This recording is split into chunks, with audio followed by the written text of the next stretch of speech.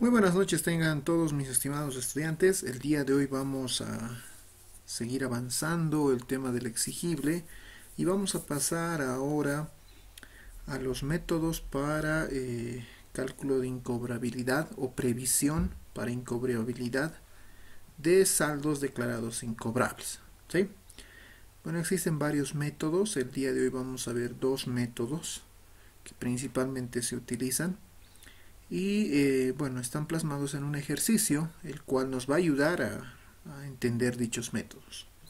Tenemos el ejercicio en aula 3, el caso número 1 nos dice la empresa ABC SRL, empresa comercial dedicada a la compra y venta de mercaderías, registra en su cartera del exigible en cuentas incobrables la siguiente cartera al 31 de diciembre de 2016. De acuerdo al método de antigüedad de saldos, analice la siguiente cartera, establezca la previsión y el castigo correspondiente.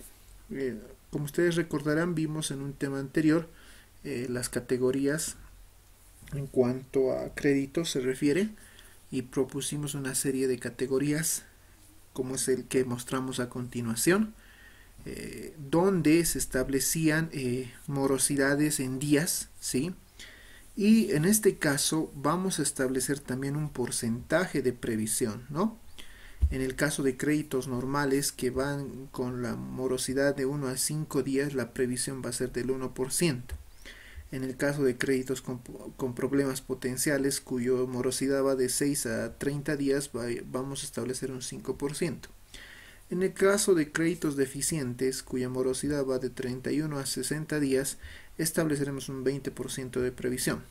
En el caso de créditos dudosos cuya morosidad va entre 61 a 90 días estableceremos un 50% de previsión. Y en el caso de créditos totalmente perdidos cuyo, cuya morosidad es mayor a 90 días estableceremos el 100% de la previsión. Sabemos que la cartera es la siguiente. Aquí podemos encontrar la cartera de esta empresa, es decir, el exigible en cuentas incobrables. Y tenemos lo siguiente, ¿no? Juan Chalco, que tiene un saldo el 31 de diciembre de 2016 de 6.500. Además tiene la antigüedad. Y eso es bueno porque eso nos va a ayudar a nosotros a determinar por el método de antigüedad de saldo quiénes son eh, y quiénes son los deudores y en qué porcentaje vamos a establecer la previsión. De acuerdo a las categorías que eh, tenemos anteriormente mencionadas y con los porcentajes que se le asigna por categoría, ¿no? La señora Miriam Maya, su deuda 2.500, morosidad 60 días. Jorge Quispe, el señor debe 3.600, morosidad de 12 días. Miguel Chura, 6.300, morosidad 45 días.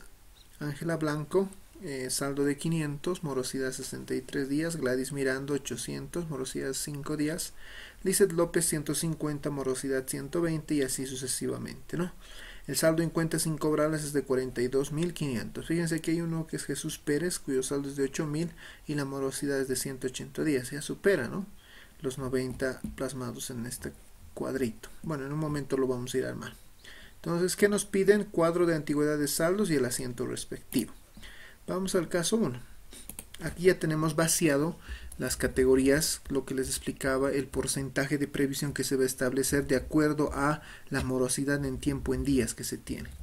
Esta es la cartera de clientes que tiene la empresa al 31 de diciembre de 2016, ordenado por, eh, eh, por antigüedad de saldos y por eh, saldo. ¿no?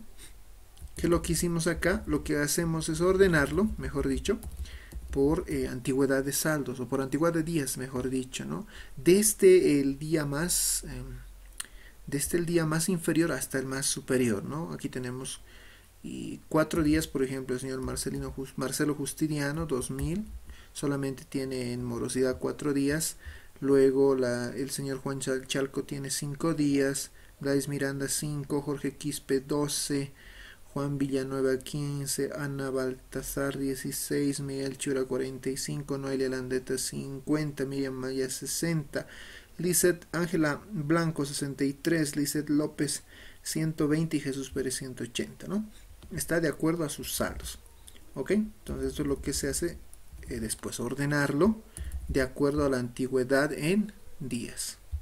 Posteriormente lo que vamos a hacer es este cuadrito. ¿sí? Este cuadrito se conoce como el cuadro de antigüedad de saldos y es utilizado para el método de antigüedad de saldos, valga la redundancia, tomando en cuenta eh, la antigüedad que tienen los saldos de acuerdo a las categorías que asigna cada empresa y tomando en cuenta los saldos que tienen cuentas incobrables. ¿no? Si nosotros observamos, el señor Marcelo, Marcelo Justiniano, cuyo saldo es de 2000, se va a encontrar en la primera categoría de 1 a 5, ¿sí? De 1 a 5 porque su, deudo, su deuda es de 4 días, ¿no? Y sabemos muy bien que los créditos con 4 días se encuentran en esta categoría, ¿no? De 1 a 5 en créditos normales. Luego tenemos al señor Juan Chalco. El señor Chalco tiene una antigüedad de 5 días se encuentra dentro de la primera categoría con los conocidos créditos normales. Créditos normales. Entonces se coloca en la columna de 1 a 5. Y así sucesivamente. Gladys Miranda, 800. Veamos cómo está su saldo. Y la antigüedad, Gladys Miranda, 800, antigüedad 5 días. También está en la primera categoría. A ver, vamos a revisar uno más adelante, ¿no? Este, por ejemplo, el señor Jesús Pérez, cuyo saldo es 8000 Veamos cómo está el señor Pérez. El señor Pérez tiene una antigüedad de 180 días de morosidad. Eso quiere decir que es mayor a 90, por tanto se va a encontrar en la última categoría denominada créditos totalmente perdidos. ¿no? Y listo. Entonces vamos a ir categorizando, vamos a ir colocando de acuerdo a las categorías, repito, eh, en las cuales se encuentra cada cliente. ¿sí? Acá ya, ya obtuvimos todas las categorías de todos y cada uno, ¿sí? En la categoría de 1 a 5 días, 6 a 30, 31 a 60, 61 a 90. Y algo muy importante que veíamos en la primera parte era el porcentaje de previsión. Nos dice que a los créditos que se encuentran en la morosidad de 1 a 5 días, conocidos como créditos normales, se le va a establecer la previsión del 1%. Entonces, abrimos una una filita más y eh, le vamos a colocar porcentaje de previsión. Yo ya le puse acá del 0.01 a valor absoluto, ¿no? Que si multiplicamos por 100 es el 1%. Después en los créditos de 6 a 30 le vamos a poner 5%. Ahí está, 5% de 6 a 30. Y en, en los créditos de 31 a 60, 20%, 0.20. En los créditos de 61 a 90, 50%, 0,50. Y en los que son mayor a 90, 100%, ¿no? 1.00. Entonces, ¿qué es lo que vamos a hacer para establecer la previsión? Vamos a multiplicar el saldo, el total, mejor dicho, de cada una de las columnas, ¿sí? De acuerdo a categoría, vamos a multiplicarlo por el porcentaje de previsión. ¿Sí? Vamos a ir multiplicando por el porcentaje de previsión. Y una vez que yo tenga ya calculado el porcentaje y mejor dicho la previsión como tal, lo que yo puedo proceder es a sumar eh, todas estas columnas ¿no? de la previsión y ver cuánto es el monto que se tiene que castigar. Ahí está, 11.588. Voy a correr un asiento denominado asiento de ajuste cargando una cuenta de gasto denominada pérdida en cuentas incobrables. Este es un gasto de tipo deducible de acuerdo a norma, ¿sí? Por el monto que se establece la previsión que es 11.588. Contra una cuenta regularizadora de activo denominada previsión para cuentas incobrables por 11.588. Esta cuenta va a ir a reducir, es una cuenta regularizadora que va a ir a reducir la cuenta denominada cuentas incobrables. ¿no? Entonces en el balance general nosotros nos encontraremos con, podemos hacerlo acá, en el balance general nosotros nos vamos a encontrar con el activo, nos vamos a encontrar con el exigible y también nos vamos a encontrar con esta cuentita denominada cuentas incobrables y se expondrá esta cuenta denominada previsión para cuentas incobrables reduciendo al saldo de las cuentas de las cuentas incobrables con saldo negativo si ustedes quieren no con saldo negativo para tener un neto en cuentas incobrables. Es así como se debe de ajustar este eh, eh, este este caso no es más tenemos acá los datos podemos colocar 42.500 ¿no? y acá tenemos 11.588 entonces si hacemos una disminución el neto de cuentas incobrables para esta gestión va a ser de 30.912. Ahí está, ¿no? Así es como se resuelve el primer, el primer casito, ¿no? Mediante el método de antigüedad de Es sumamente sencillo, solamente tenemos que tener cuidado en la categorización que vamos a hacer y en los días de morosidad que tiene el cliente. Una vez ya castigado su cuenta, una vez declarado, mejor dicho, incobrable su cuenta. ¿Ok? Vamos con el siguiente caso. Caso 2. Calcular y registrar la previsión para cuentas incobrables de la gestión 2014, aplicando la legislación nacional.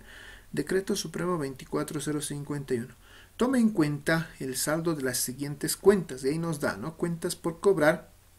240 mil, 2011, 2012, 190 mil, 2013, 160 mil y 2014, 230 mil. Abajo, quebrantos o cuentas incobrables, 28.430, 36.500, 2012 y 2013, 32.000. Este es el caso entonces que nos plasma el ejercicio. Este es el segundo método y se conoce como el método de porcentaje promedio. El método de porcentaje promedio eh, toma en cuenta una estimación en función a las a, unas, a, las cuentas incobrables de las últimas tres gestiones, tres gestiones versus el saldo de las cuentas por cobrar de las últimas tres gestiones. Es decir, si agarramos nosotros una formulita, porque esto es lo que nos plasma eh, la norma, nos dice que el porcentaje promedio va a ser igual a la sumatoria de quebrantos o cuentas incobrables de los tres últimos años dividido entre la sumatoria del saldo de las cuentas por cobrar de los últimos tres años. Todo esto por 100, ¿no? Si nosotros acá ya lo tenemos, a ver, hagamos eh, una recapitulación. El porcentaje promedio, sumatoria de quebrantos o cuentas incobrables, yo tengo ese dato acá, ¿no? Eh, de los últimos tres años, acá está, 2011, 2012 y 2013. En el 2011 tengo 28.400, 2012 tengo 36.500 y 2013 tengo 32.000. Sumo todo eso y me da 96.930. Dividido entre la sumatoria de las cuentas por cobrar de los últimos tres años. También tengo cuentas por cobrar, ¿no? 2011 240 mil, 2012 190 mil, 2013 260 mil. Si yo sumo eso, me da 690 mil. Establezco una, división ¿sí? entre eh, los 96.930 dividido entre 690.000 y lo multiplico por 100. Y eso me da un porcentaje de 14.05. Este es el porcentaje promedio que yo debo de aplicar a mis cuentas por eh, por, cobrar. Para establecer el, la siguiente parte, para establecer la previsión para cuentas incobrables, yo agarro este porcentaje promedio y lo voy a multiplicar por el saldo de cuentas por cobrar de la gestión a la cual yo voy a castigar, en otras palabras, ¿no? En este caso, el porcentaje promedio es 14.05 con todos los decimales por el saldo de cuentas por cobrar y cuentas por cobrar es según el ejercicio 230.000 para la gestión 2014 ¿no? entonces lo que vamos a hacer nosotros es multiplicar los 230.000 por ese porcentaje promedio ¿no? y eso me da 32.310 como previsión entonces lo que yo voy a hacer ahora es un asiento de ajuste en el que voy a cargar una cuenta de gasto contra una cuenta regularizadora de activo. Pérdida en cuentas incobrables, cuenta de gasto 32.310 contra regularizadora de activo. Nuevamente, ¿no? Previsión para cuentas incobrables 32.310. Entonces, para registrar el ajuste de la previsión para cuentas incobrables. ¿Ok? Entonces, eh, yo ya puedo establecer inclusive mi, mi balance acá. lo podemos hacer, ¿sí? El balance general. Correcto, vamos a tener el activo, vamos a tener el exigible, vamos a tener cuentas incobrables, el saldo de cuentas incobrables, bueno, en este caso eh, no lo tengo para esta gestión, ¿sí? No lo tengo, pero en los casos reales yo voy a tener este saldo y le voy a restar menos la previsión para cuentas incobrables. Y la previsión va a ser de 32.310, ¿no? Obviamente esto lo voy a hacer con saldo negativo y voy a tener un, eh, un saldo neto en cuentas incobrables, restando cuentas incobrables menos previsión para cuentas incobrables. El saldo de la cuenta previsión para cuentas incobrables siempre es un saldo de tipo acreedor, por si acaso, y se expone al haber. Por eso es que va a disminuir el activo cuando se expone a una determinada fecha. Eh, disminuye al activo, en este caso a cuentas incobrables, como regularizadora. ¿sí? Eso es muy importante al momento de la presentación de estados financieros. Bueno, este sería el segundo, el segundo eh, método para el cálculo de la previsión para cuentas incobrables es sumamente sencillo, tomando en cuenta, repito, los quebrantos o cuentas incobrables de los tres últimos años, dividido entre las cuentas por cobrar de los últimos tres años, la sumatoria de ambos eh, por 100 me va a dar un porcentaje promedio, agarro ese porcentaje promedio y lo voy a multiplicar para obtener la previsión por el saldo de cuentas por cobrar que tengo en una determinada fecha. Y listo. Muy bien. Eso sería todo por el día de hoy, mis estimados. Eh, este archivo les paso para que vayan conciliando datos y puedan revisar la información. Muchísimas gracias, hasta otra oportunidad.